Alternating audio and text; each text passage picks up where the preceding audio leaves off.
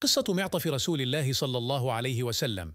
في إحدى الأيام كان النبي صلى الله عليه وسلم في طريقه إلى المسجد لأجل أداء صلاة الجمعة.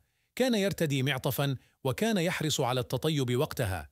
عند ذهابه للمسجد رآه أحد الصحابة وطلب منه المعطف الذي يرتديه. فقام النبي بخلعه له وعاد إلى بيته للارتداء معطفا قديما له. عندما أعطى الرسول صلى الله عليه وسلم المعطف للصحابي شعر بالحرج من طلبه وأراد أن يعيده إليه مرة أخرى ولكن النبي رفض. عندما توفي هذا الصحابي أمر النبي صلى الله عليه وسلم الصحابة بدفنه مرتديا ذلك المعطف قصة كرم سيدنا عمر بن الخطاب كان النبي صلى الله عليه وسلم يحث الصحابة على إنفاق المال في الصدقات.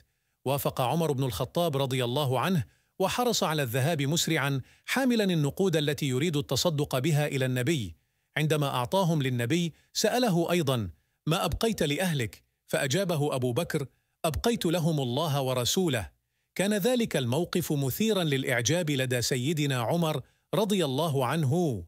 الكرم هو من أجمل الصفات التي يمكن أن يتحلى بها الإنسان وهو مفتاح للتواصل الإيجابي وبناء العلاقات الطيبة.